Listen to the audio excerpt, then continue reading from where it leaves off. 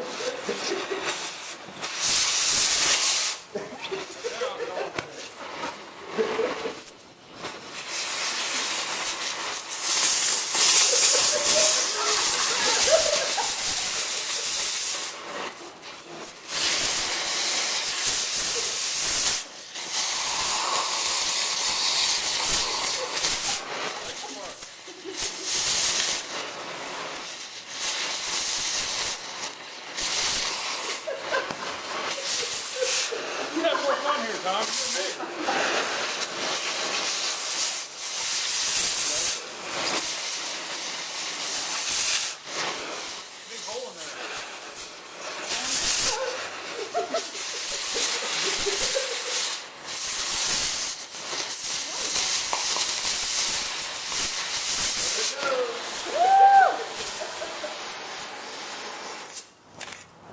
Hey Rob, is that what they mean when you burn up the disk drive? yeah, I think so. Ooh. Ooh looking for. Well, that's how you just say that. So that's how you make sure that you drive plug it in and see if it works now. that's what happens when you fry your drive. Yeah. You get the splatter on the floor where it's melted. Yeah. There's your data.